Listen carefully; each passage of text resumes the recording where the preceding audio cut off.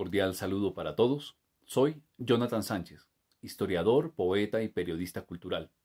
Residente en la ciudad de Tunja, nacido en la ciudad de Tunja, boyacense de pura raza. Para mí es un gusto compartir con ustedes, desde la literatura, en la línea de poesía, este recital poético que he titulado Realidad fragmentada. En el marco de la convocatoria de incentivos Boyacá Somos Cultura, de la Secretaría de Cultura y Patrimonio de la Gobernación de Boyacá. Con ustedes, Realidad Fragmentada. Una canción para mi tierra. Si pudo Serrat cantar a su pueblo blanco colgado de un barranco sin haber visto nunca el mar, ¿por qué no puedo yo cantar al mío y elevar en un canto frío todo el llanto sombrío y el misterio? Ayer escuché a dos viejos cuestionarse en la plaza. ¿Qué será del hermoso tiempo ido, del ayer y su alegría, de los amores prohibidos y el beso largo y dormido sembrado en el umbral de casa? Hoy ya no cae como antes sobre el hinojo el rocío, ni emergen los cucarrones en mayo, ni se escucha el croar de las ranas junto al pozo o el sendero del río.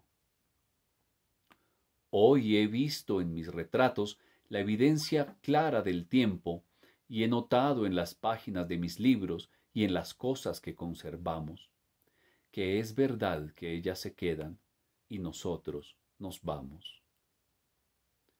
Ser boyacense es un honor. Soy de la tierra alta, del frío y del sol, memoria antigua de raíces viejas, hombre de maíz y barro soy, coleccionista de recuerdos, transeúnte de la experiencia, pasajero de los sueños.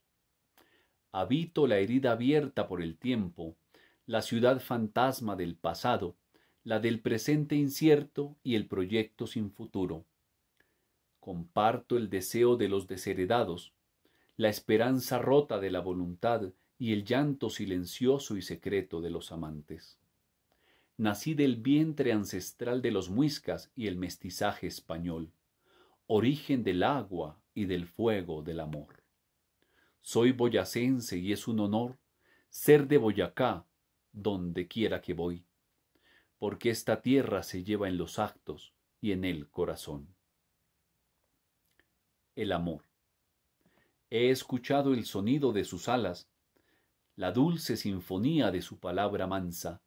Soy testigo de su energía y la vibración de sus ondas, del nacimiento de la orquídea y la danza de la lluvia. Ven, siéntate conmigo y cierra los ojos para sentir su magia.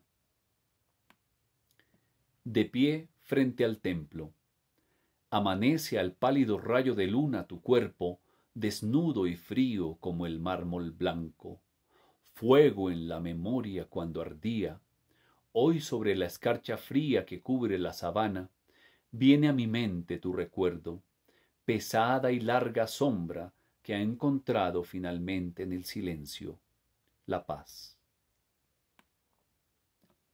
La abeja bajo el ardiente sol en el verano, abre sus alas para abrazar del viento mis soledades.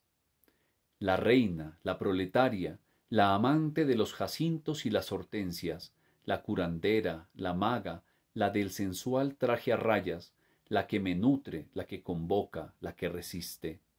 Ella, mi pequeño sueño, mi colmenar.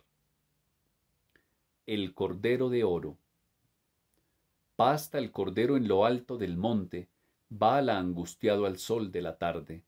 Copo de nieve, flor de algodón, el rey celeste, cabellos de oro, prende a su lana su gran esplendor. El canario Félix. Posado en la rama de un frondoso hurapán, hace gala su fama de hermoso trinar. El bronceado turista que es noble ejemplar, toma a diario su baño en antiguo pilar y al amanecer, el pequeño mensajero eleva a los cielos su diminuto corazón cándido de sueños. Muchas gracias.